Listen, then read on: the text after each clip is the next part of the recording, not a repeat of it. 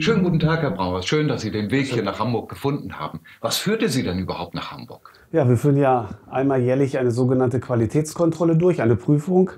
Und diesmal waren Sie selber dran, die Firma HSB, und deshalb bin ich hier in Hamburg.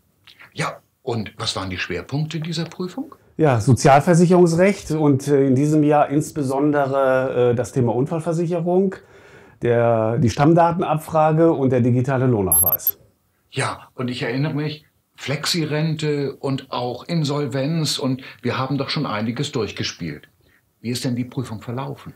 Die Prüfung ist sehr positiv äh, verlaufen. Es gab keine großartigen Qualitätsmängel, also alles im grünen Bereich. Prima. Und was meinen Sie, wie sieht es in der Zukunft aus?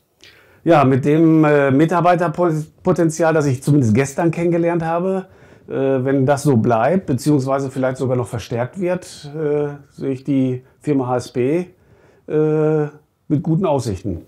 Das freut mich, dass Sie sich die Zeit genommen haben, uns ein paar kurze Fragen zu beantworten. Ja, gerne. Und freue mich auf den nächsten Besuch bei uns im Hause. Wunderbar, danke. Wir lassen sie nicht im Dunkeln stehen. Software Innovation, made in Germany.